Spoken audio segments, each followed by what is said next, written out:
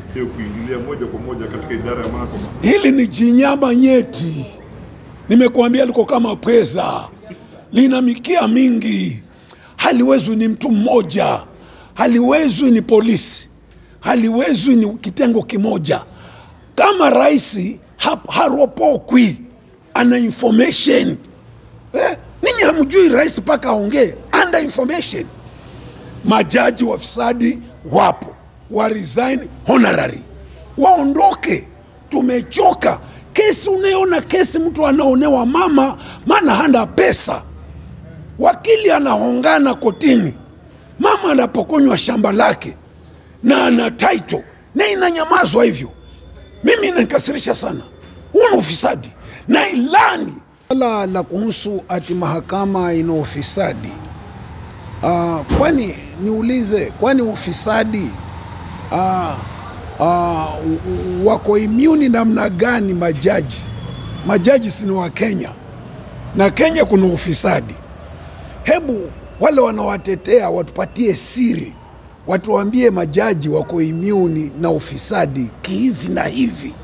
Kama hawawezi kutuambia, wanaowatetea hao ndio beneficiary ya ufisadi lakini ukweli ufisadi upo Kenya na rais, rais, rais Ruto anafanya vizuri. Ninasema kongole, upige vita kabisa. Najua ufisadi ni jinyama nyeti na hali lina matawi mengi, lina mikia mingi kama pweza.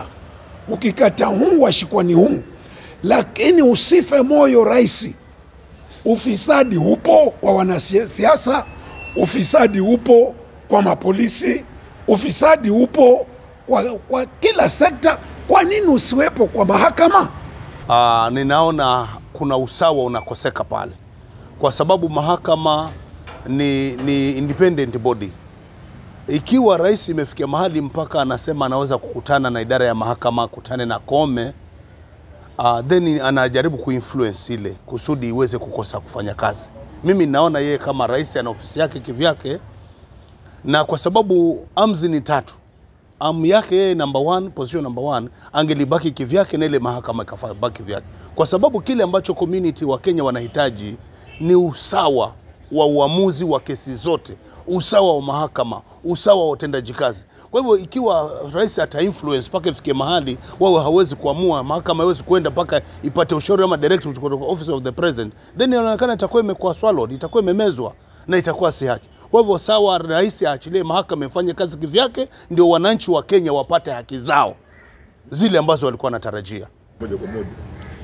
Katiba ya mwaka 2010 ambayo ndiyo katiba inayotuongoza hivi sasa iliweza kubuni zile tunaziita independent bodies, na tuko na Ethics and Anti-Corruption Commission, tuko na DCI, tuko na NIS. Hizi ni taasisi ambazo zimeundwa hususan kudili na masuala ya, ya, ya, ya, ya, ya ufisadi. Kwa hivyo ikiwa yeyote yule, sio rais peke yake na sio mahakama peke yake ama judiciary peke yake, hata katika legislature na hata katika executive, kama ameona ya kwamba uh, kuna ufisadi ambao unaendelea pale, basi ushahidi ukusanywe, wale ambao wanahusika na huo ufisadi watambuliwe, alafu faili zao zipelekwe kwa EACC kwa uchunguzi. Hivyo ndivyo ilivyo rahisi namna hiyo, kwamba zile uh, taasisi ziko pale kwa kukabiliana na maswala ya ufisadi. Kwa hivyo kama rais ameona ya kwamba kuna ufisadi ndani ya judiciary, hata ndani ya executive, ama kwa legislature, ama kwa kitengo kingine chochote kile cha serikali ama hata cha kibinafsi, ikiwa kuna ufisadi, kuna EACC, kuna DCI ambao wana, wanapaswa kukabili, kukabili masuala haya ya kisheria na kwa uh, zile njia ambazo zimewekwa kuweza kukabiliana na, na, na ufisadi. Tungeheshimu ile katiba tuliyopitisha 2010, kila mmoja aiheshimu. Usiangalie kwamba cheo chako uko nacho, heshimu sheria ya nchi, manake kama ni cheo hicho ni temporary, maybe after 5 years ama 10 years utaondoka.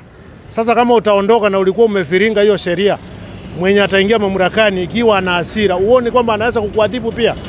So vitu kama hizo tungependa rais aheshimu sheria na akisikia kwamba mahakama imeamua vile ilivyoamua, kitu anastahili kufanya ni aende court of appeal haapili aone kwamba hii kitu kimeenda vile alikuwa anataka, lakini ukiangalia yeye ni kama ana force, ni kama anatisha hawa majaji ndio awateke nyara, awasimamie vile anavyotaka yeye, awakontrol vile anavyotaka na hatungependa taifa ambao linachukua huo mwelekeo. Tunaangalia kabisa, tunaona kwamba hii kesi ilikuwa inastahili amuliwe, huyu mtu afungwe maybe amepora pesa za Wakenya, lakini unasikia kwamba hana kesi ya kujibu na kuna ushahidi kila kitu tunaviona, si kwamba tuvione.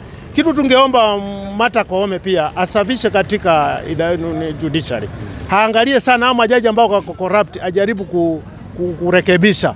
Ni vitu ambayo inatuaipisha. Halafu ni, ni, nirudi nyuma kidogo kwa mheshimiwa rais.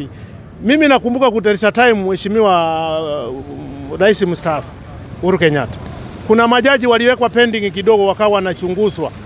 Alipoingia mamlakani tu yeye akawachukua, sijui ni hasira alikuwa nayo, akaweka mamlakani. Hakuteki time, hakuteki time ya kuwa, ku- ku- ku- kutaka wafanyiwe uchunguzi ijulikane kweli ni- walikuwa ni wafisadi ama walikuwa si wafisadi.